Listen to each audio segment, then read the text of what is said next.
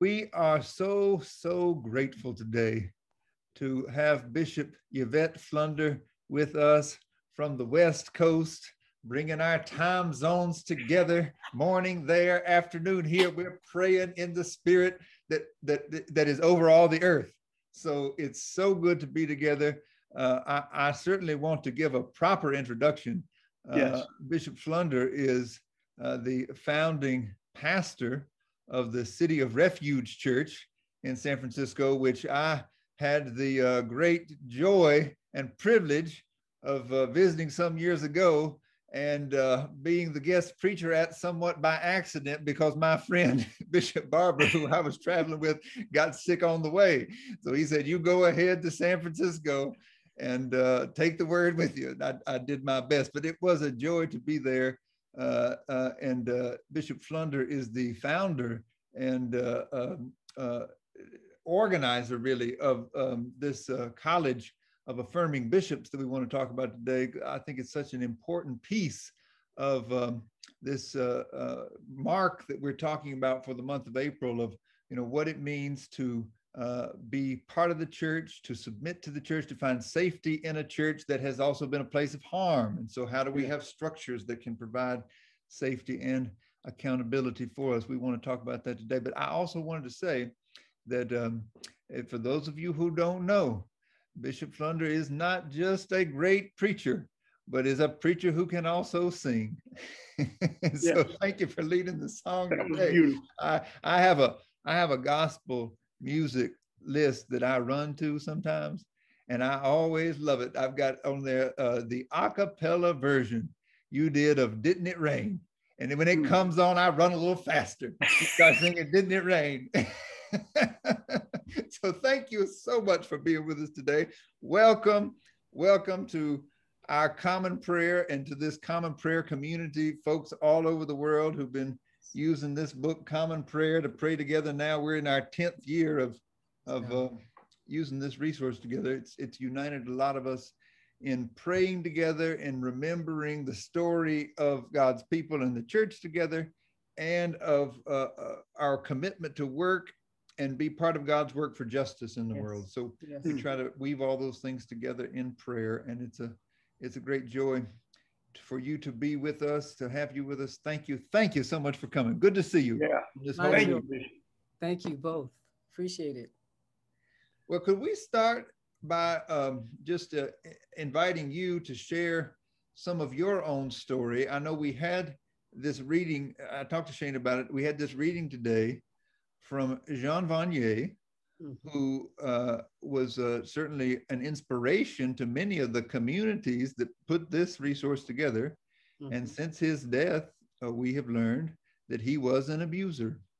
Mm-hmm. And that, uh, that reality is the reality for so many people in the church. Mm-hmm. So when we talk about being part of the church and even submitting to the authority of the church, I think the first thing we have to acknowledge is that so many people have been hurt by the church. Yeah. I know you have negotiated that yourself. I, I wonder if you would just share some of your experience with folks who are on with us today. Well, I definitively appreciate the opportunity to share with you, my brothers, and all of those who are connected to us virtually. Uh, what a joy to be in the company of the saints, as we said in the in the classical Pentecostal church that raised me. Uh, and I might say that uh, to, to begin with what it is that you have uh, framed as a question for me, that the greatest flaw, I believe, of the church, the church that raised me, um, and I think many others that have had these experiences, is to somehow telegraph that our coming and being a part of the faith-based organizations and churches that we are a part of made us perfect in some way. Mm. And it's very much like the, uh, the, the little children's story um, that talks about uh, the emperor's new clothes, you know, mm. that the concept was, as you know, there were these little mice that had this magical thread and they were creating, they said, allegedly, these beautiful garments, but only the wise could see them mm. and they would put them on people allegedly, and people would pretend that something beautiful was on them mm-hmm. so that mm-hmm. they wouldn't be thought of as unwise. When in truth, one little child said when he passed them, everyone is naked. Mm-hmm. Um, it is a it is a real uh, statement in my thinking that connects to what it was that we created in in conservative Christianity, and in some case, cases mega conservative. Hmm. And as I said, I'm a, uh, raised by classical Trinitarian Pentecostals.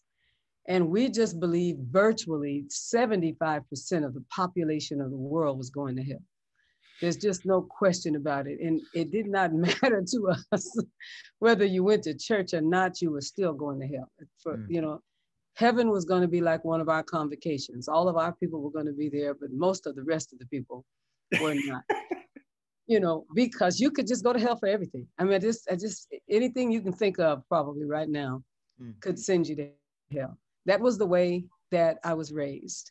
Mm. That was the experience that I had. And it created a, um, a pushback in some ways from people who were culturally, uh, fiscally, um, racially diminished to have power in a powerless environment. Mm-hmm. Essentially, you may think little of us, but God thinks that we are the cat's meow. And when it's all over, God is going to cause us to reign mm. and, and in some way others to pay. It, it, it's the salve, it's sort of the, the comfort for a, a marginalized people. And often fundamentalist religion is most present among people who feel marginalized in some way by the societies that connect to them. That's the way it begins.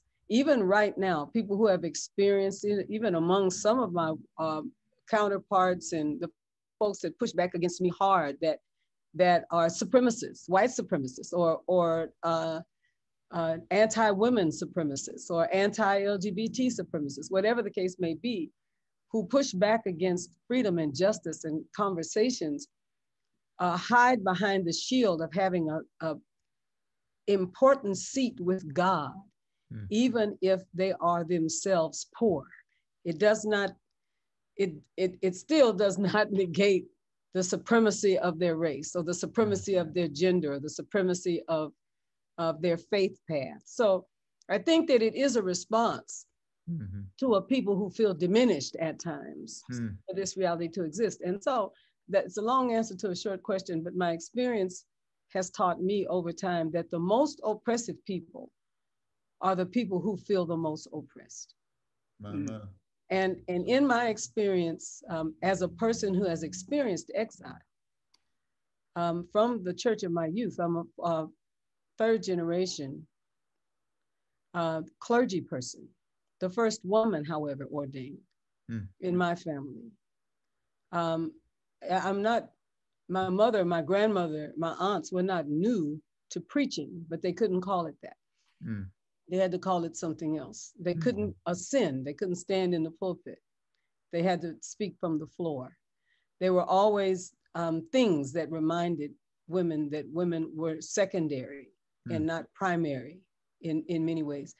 Um, when I felt myself called to ministry, what was married to my call to preach and teach the, the life and the work and the heart of Jesus in the world it, it I was not able to preach the authoritarian Jesus. I was not able to preach the diminishing Jesus. I was not able to preach the the one who, you know, loved a handful of folks and didn't love the rest. You know, it was I was not able to preach that Jesus, which got me in deep doo-doo. So that was a mm-hmm.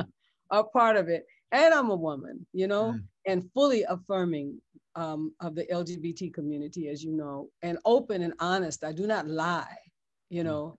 I do not, I do not pretend mm. because these are things that I have learned over time um, are not helpful for the church.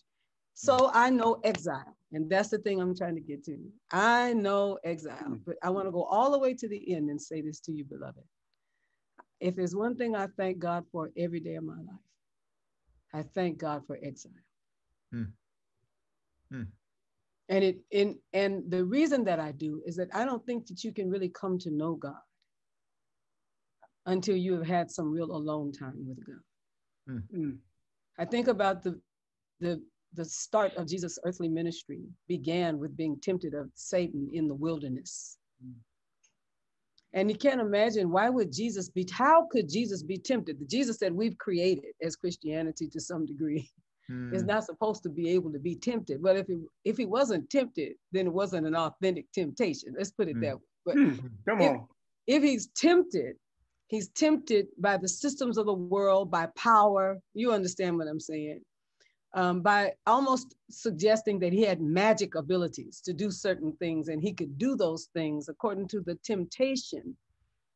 And he pushed back against the temptation, but he went right from there, if we're to believe chronologically, to the temple, to his home synagogue, and stood with the men and read from the scroll of Isaiah The Spirit of the Lord is upon me.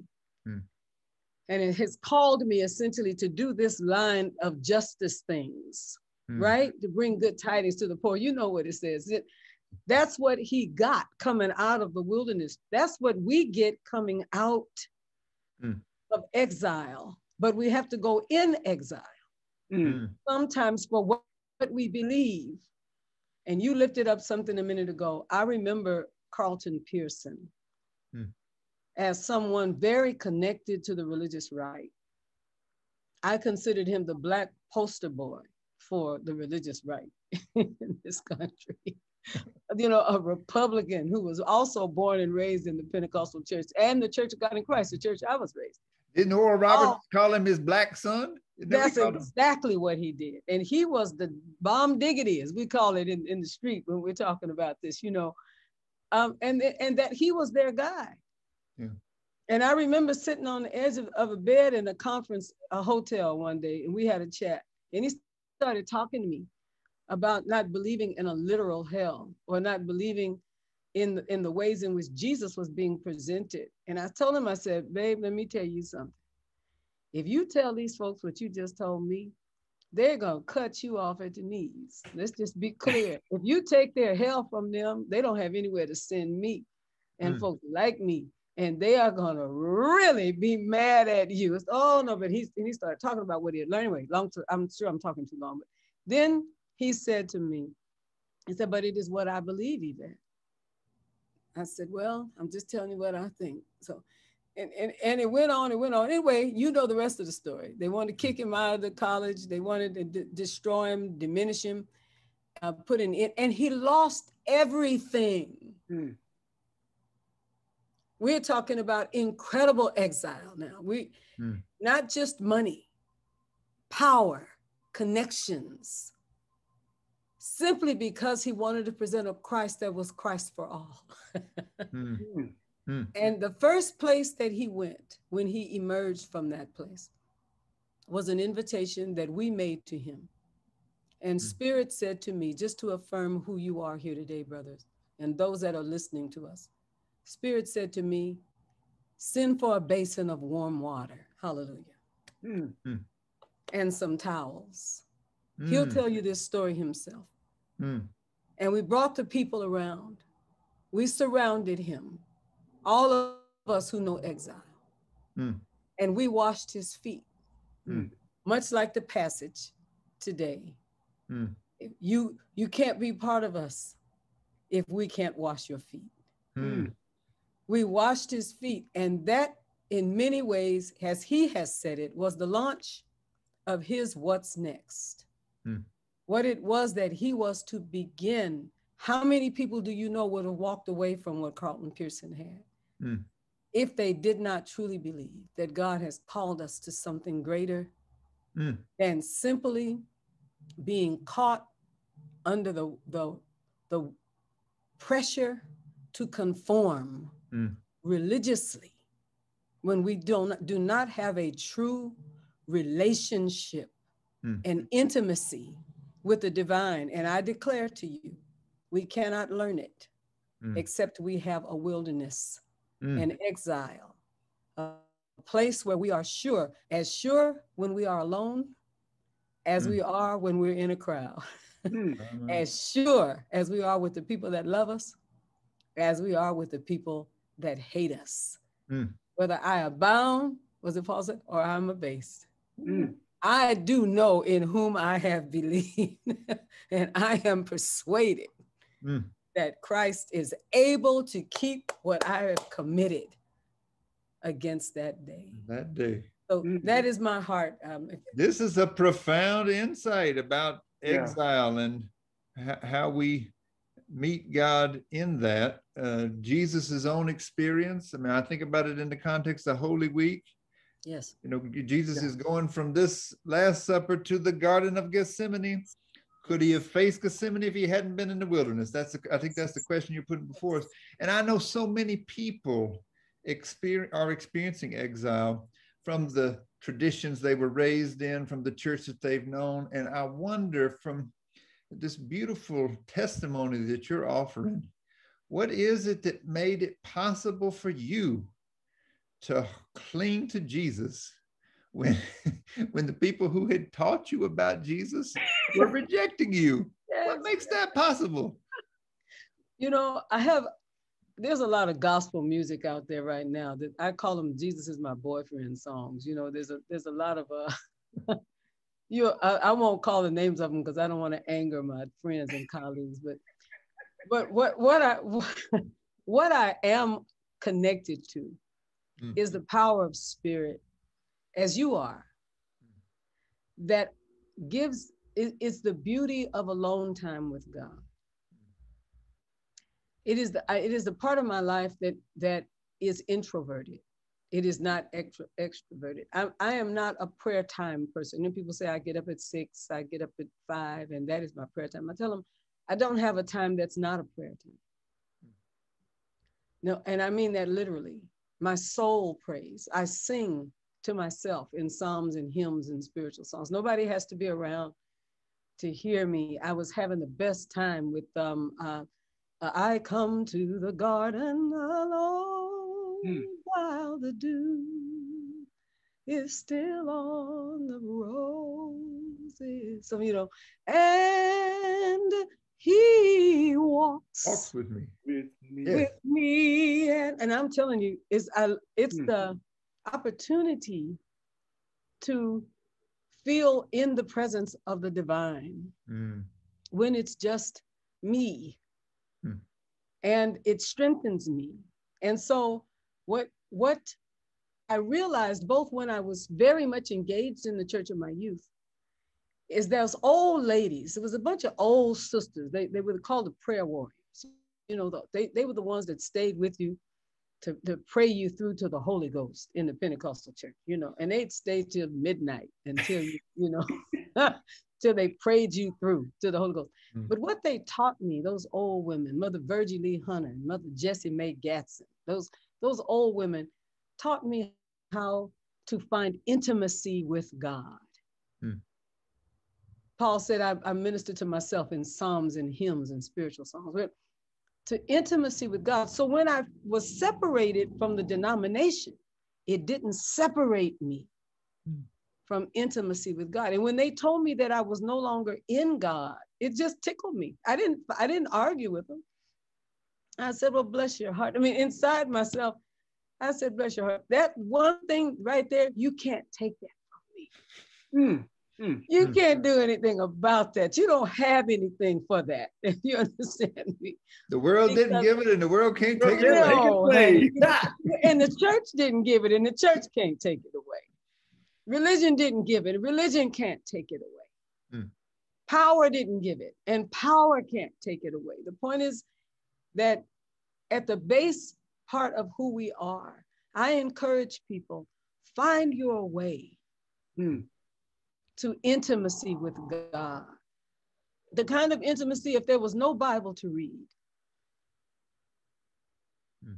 if there if there were no preachers to preach to you, if there was no canon to follow, if, if there was no book of law and order hmm.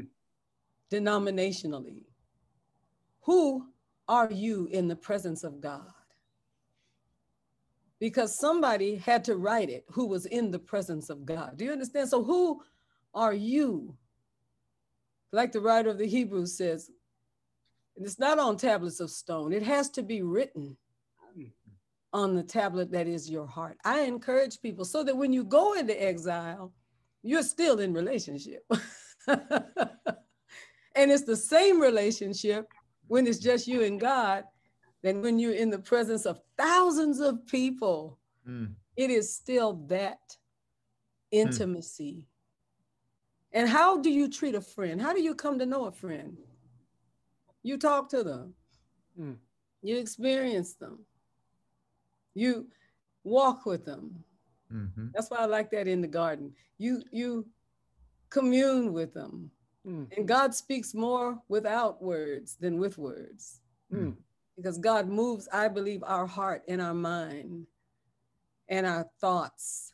Things come into your mind. I know I'm talking to preachers now, teachers. I know who, who you are. And we call it, we wait for the hook. Lord, what would you have me to do with this? And then something mm. comes in your spirit and says, and then you say, that's right. Then you can go do your research. you can write your paper. But mm. what you need from spirit is the direction, mm. the clarity of thought.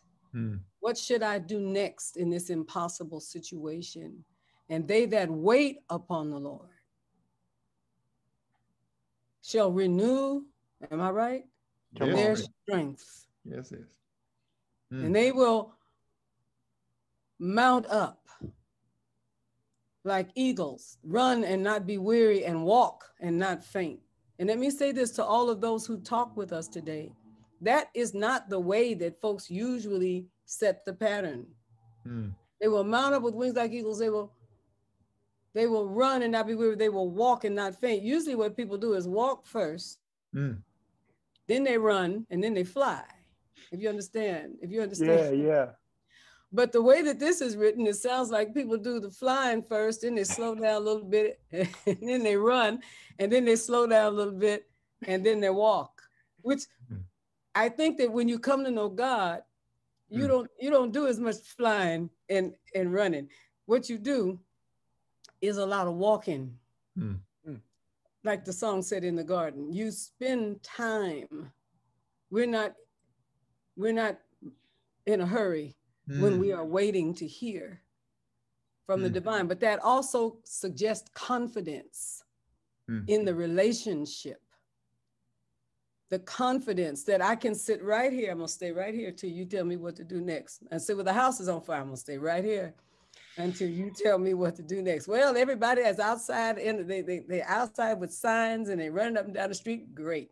I'm going to stay right here until I hear from the divine. Mm. Jesus in mm. the garden. I'm going to stay right here. I'm going to tell you I'm upset. Mm. I want this cup to pass from me. Mm. Jesus did not want to die. People say, well, you know, he no, he did not. His humanity did not want Calvary. He did not want crucifixion. He did not. And he mm. asked that it would pass from him. Mm. I, can we do this another way? That's the heart of the statement. Yes, indeed. But mm-hmm. in the prayer, he came up with the nevertheless. Nevertheless, not mm. my will. Mm. Who wants to die in a crucifixion? Who would want to do that? Mm. Nevertheless, not my will, but your will be done. That's the heart of, of intimacy with God that will move us to the hard justice work. We go to jail, we go to jail. We get branded, we get branded. You know, they won't give us the grants, they don't give us the grants. You know, people put us in the newspaper, we have to deal with it. because we walk. Mm. We don't have to run, we can walk. Mm and we can get this thing done according to God's will and purpose. Anyway, Pentecostals talk a lot. Come on, kind of, you, you you're sounding like a mystic. you know, I mean, speaking, yeah, speaking yeah. from that heart of the uh, intimate relationship, the personal relationship, the experience, yes. as the mystics have throughout history, yes. and yet here you are, a bishop and an institution builder. so tell me, why does a mystic build institutions? yeah, I'm gonna have to, you know, I have found out something about the history of reformations. Mm. That reformation, sometimes I draw when I teach, particularly in the seminaries, that these concentric circles. Imagine one outer, one in the middle, and one in the in the center. And I I style the one in the center as society as we understand it. The one just outside of that I style as religion and faith. And this is for our country, but for some of the other places where we have all been and worked. And then on the outside is what I call the margins. Hmm. And for most of my life, people that have dwelled on the margins, because that's who I'm called to serve, there's no question about that as a priority. Doesn't mean that we're not available to many for many reasons, but as a priority those that are on the margins are always trying to get in, mm. come up with some kind of way to be worthy enough mm. to be accepted and acceptable, mm. and to in some way mimic the manifest destiny type power that they mm-hmm. see among those that are in those inner circles, in that the circle of religion and faith and the circle of society. What I have said to people many times is that that's what we have to break. If we are going to develop institutions mm. that are going to meet the needs of people, these institutions must be flexible. Mm. We have to build with a back door. Mm. Knowing that the whole thing may be wrong by this time next week. Come on. We put it all together. We had a meeting. We made some notes. We, we, you know, we came in with some bricks and mortar and tried to hook that thing up, only to find out it's not fluid enough for the Spirit of God. Ooh. So we do bricks and mortar. That's what we do. But then we ended up end up losing all of it. And, and the reason I use those concentric circles because I I put an arrow that points where people are trying to get to the middle, and hmm. then I U-turn it and say, what you need to do is go back, not trying to impress the these bastions of society and religion, build something on the margins out here where space is mm. is. Mm. So that if we have to change tonight, mm. we can change. Mm. We have structure, a structure without facades. You see, I, I, was I was raised in in San Francisco. I'm, I'm a uh, born and raised in San Francisco. I know about earthquakes. Mm-hmm. Earthquakes don't bother us like they do other people. We could be sitting talking like this. We had one uh, the other day. We have little ones all the time. We could be sitting talking, and all of a sudden everything goes like that, right? And we all say, "Oh, that's probably about a 3.5," and then we just keep talking. I mean, because it's nothing to us. Because I was raised, you get under your desk.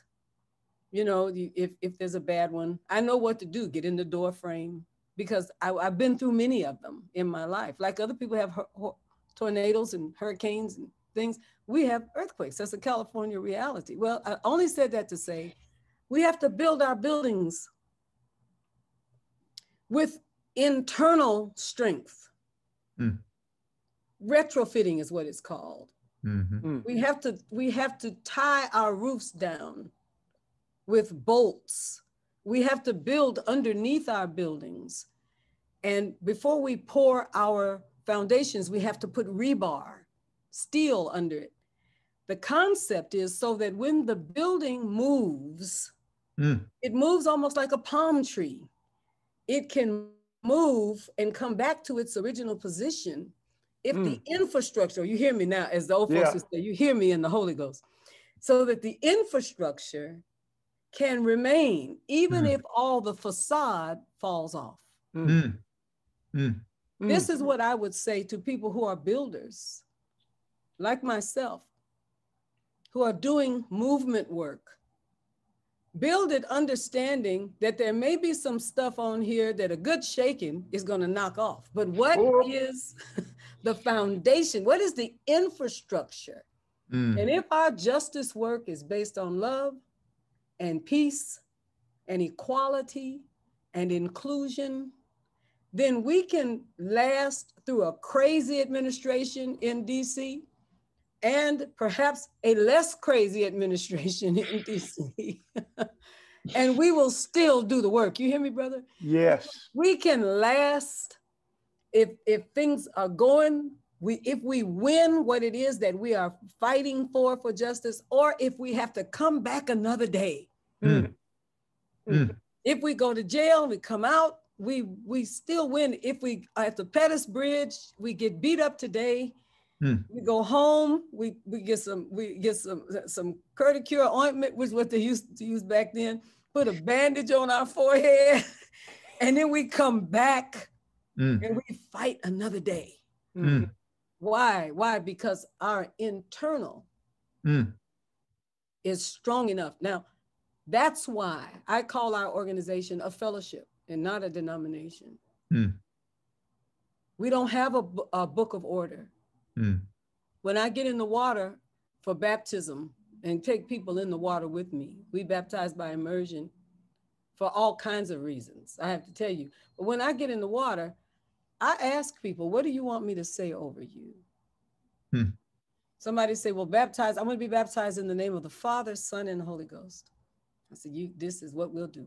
I'm going in the water with you. And I'm only five two, so it's quite something what happens to me. Uh, that's people have to tie me down. You know, it's quite something. But anyway, so we go in the water together. Somebody else says, "I want to be, uh, I want to be baptized in the name of God, Spirit, and Servant. I want to be baptized in the name of, I want to call the names of my ancestors and my Orisha. I want to call the name. And the thing is, people say, well, you baptize people, you got to baptize them in the name of Jesus. I said, no. What I have to do is baptize them. If we're all in a public and communal baptism, in, in and say over them what their faith path is. Because I don't think that the Jesus that I know would have found it problematic that people can see the essence and the spirit of God Mm. by other names. I don't see that Mm. that would have been problematic for him, Mm. right? So I, get, I take him in the water, and then at the end of the day, we all wet. Everybody wet. Everybody wet. So we got the same wet, if you understand what I'm saying, with something different. Mm. Perhaps that is authentic to our belief systems. And some of it is a con- com- conglomeration of all of those things at the same time. I have come to understand the power of my um, Afro African um, African indigenous faith, Hmm. my Native American Cherokee indigenous faith. Hmm. I have come to understand that the 12% of me that is Celtic, that comes from an Irish background, I have come to understand the spirituality of that stream Hmm. into me. And, my, and then my Igbo, my African self. I have a, did my people know God before they were Christianized? Of course they did. God by another name, still God. God's not stuck, we're stuck. So when we get in the water, Hmm. we dispense with that. And we invite the spirit of the divine Hmm. to connect us in ways that my religion doesn't have to compete with yours. And I know I'm again I'm talking too long, but let me just say one last thing to you about this. And that is that when we pray, it is amazing to me that there are people praying diligently for me to fail. Hmm. And there are people praying diligently among my colleagues for them to fail, for the folks that are praying for me to fail. and, and imagine you're you you know you're God listening. Say, well, here's a Hmm. whole pack of them saying they know me. and they're praying against this whole pack of them over here who say they know me. Conservative, liberal, that that whole um you understand. You really understand. I know you understand because our paths, we, we've come from a long way, you know? Conservative, liberal, talking to God to destroy in some way the other people. Mm. And so we so we have this dance. We have a, a conservative administration we think is cuckoo for cocoa puffs. And then we have a another administration we think is more, you know. And so then what happens next? So perhaps we'll get another one, you know, there's a, and then we'll get another one. And it's it's like a 50-50 split. And imagine, imagine at the end of the day, it's like being in a war like the Gulf War, Mm. where Muslim mothers, Mm-hmm. Muslima, Mus- Muslim mothers are praying that their sons will come back Mm. from the war alive. Mm. Christian mothers are praying that their sons will come back from the war alive. Who does God hear and why? Hmm. Why? When in many cases the sins are equal, Mm. Mm. the love is equal, the manifest destiny, the want, the desire to rule, to be to be the world power is equal. Mm-hmm. everybody wants to be over and thinks that somehow even when they are wrong because it's them their wrong is right and when the others are wrong their wrong is wrong and they're all praying to the same god Mm-hmm. so it is now in some ways with christendom in this country Mhm. and i think that we've hurt ourselves in this last election that what we have done i think that we have abdicated in many ways even the power of the religious right Hmm. because the intention was to force and require that god agree Hmm. with the politics and policies that suggest that they are done in god's name Hmm. what happens at the end of the day people of god have got to go to the garden hallelujah i felt i had Come a on, yes. moment. Mm. got to stop politicizing God and go to the garden. Mm. Whether we're conservative or liberal or every conceivable thing in between, or what day of the week we are, all of these different things you're going to have to go to the garden Mm. and hear from the divine, Mm. or we are not going to be believable to the generation that is coming after us. Hmm. They already say they're not religious. Mm-hmm. They are relational, they are spiritual, but they don't want this. They don't want this. We, we see church often as a completely choreographed experience, super powerful, 12,000 people. Everything happens exactly on time, one thing after another, after another, after another. You all understand what I'm saying. That's, that's, Mhm. that's the thing that people want to show that they're successful Mhm. As preachers and pastors. And then when they say something's going to happen and it doesn't, and they call for the angels from Africa and South America and all that to make it happen, Hmm. and it doesn't happen, Mm. they have a crisis of credibility. Come on. And our young people are saying, Mm. I don't want any of that. I Mhm. invite everybody that is listening to us today go to the garden. Go Mm. Go and spend some time with the divine. And don't go in the garden looking for some wep to be weaponized against those that you disagree with. Mm. Let's go into the garden and find the heart and the will of God. Mm. There's there is a passage of scripture that we have used a lot of us a lot of times, right? And we're connected.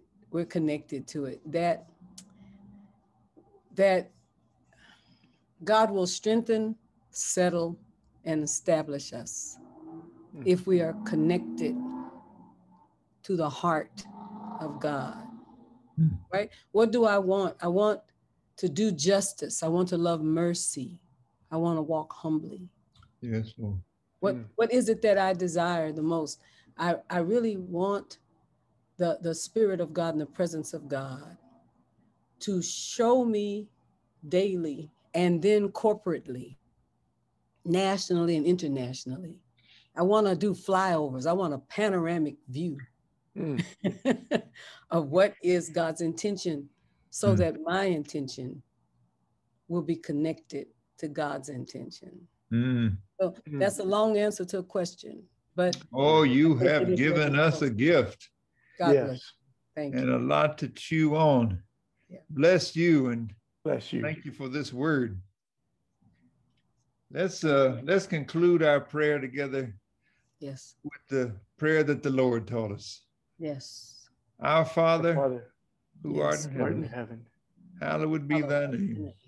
thy Thy kingdom come, Kingdom thy will be will done be done. on earth as earth as it is in heaven. Give us Give this us day this day. our daily bread and forgive us our trespasses as we forgive those who mm-hmm. trespass against us. Lead us not into temptation, but deliver us from evil. For thine is the kingdom, the power, and the glory forever. forever. forever. Amen. Lord Jesus Christ, you knelt to wash from our feet Yes. the dirt out of which you made us. Teach us to humbly serve one another so the world may know we are your disciples. Hallelujah. Hallelujah. Amen. Hallelujah. May the peace of the Lord Christ go with you Yes. wherever he may send you. May he guide you through the wilderness, protect you through the storm. May he bring you home rejoicing at the wonders he has shown you. May he bring you home rejoicing once again into our oh. door. Hallelujah. It's a little blessing for the Celtic part of you there. I Woo, got yes. you. Thank you, Angel. Thank Bless you, you. Bishop. My joy. Thank you. So, you. y'all, we're- just a few things as we go out here. Thank y'all for joining us. We'll be back at it at the first day of every month, and we get to sit at the feet of a special friend every every month. This was real special. I didn't know I was going to be taking notes mm-hmm. during morning prayer, Bishop, but I got my notes here. We got a mm-hmm. lot of things on the horizon at Red Letter Christians. We're going to have a reflection on Good Friday tomorrow Yes. what it means that at the heart of our faith there is an executed savior so join us tomorrow at 2 on monday we're going to do our easter concert on monday we got 20 different artists that are lined up to sing songs Mm. of redemption survival resurrection so spoken word worship teams uh, so join us it's all uh, going to be live streamed on monday night at 7 and then we got our book of the month, which it's April 1st. So I'm going to tell y'all the book of the month this month is Anthea Butler, Dr. Butler's book, White Yes. Evangelical Racism. So grab That's that a book. powerful book. That's a powerful one. Yes, it She's going to be with us at the end of the month, last Sunday of, of April. She'll be joining uh, us for that conversation. And then every month we've been talking about a big issue, a social justice issue. This month on our faith forum, we're going to talk about immigration because we still have a crisis on our border. Yes. And we Yes. still have children that are separated from their families that need to be reunited. So join us with uh, Jenny Yang and Alexia Salvatierra. Uh, we're going to have a faith forum on immigration to talk about that. Um, so that that's we got a lot going on, and uh, it's always a gift to be together at the first of the month. Can can we ask you, Bishop, to send us out with a benediction? Oh my. Uh, let's see. Um, how about a, a good old um, ne- Negro spiritual, as they are called? Okay. Let's do it. um, that I sing to myself sometimes. The old saints used to sing this. It says, intimacy with God. God stays in my room. God stays in my room. And God gives me all medicine hmm. in my hmm. room. And the old old saints said it because they couldn't afford to go to the doctors, or the doctors would not receive Black people. God heals in my room. God heals in my room. And God gives me all my medicine in, in my room. And now may the peace of God, and the healing of God that passes understanding. Keep your hearts, keep your minds, keep your spirit. For what has God given us? Not a spirit of fear, but power and love and a sound mind. Be blessed as you journey.